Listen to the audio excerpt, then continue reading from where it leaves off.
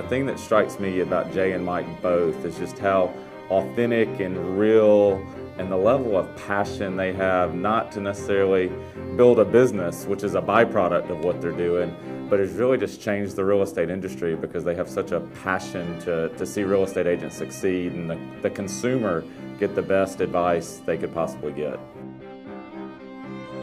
Jay and Mike are like two big brothers.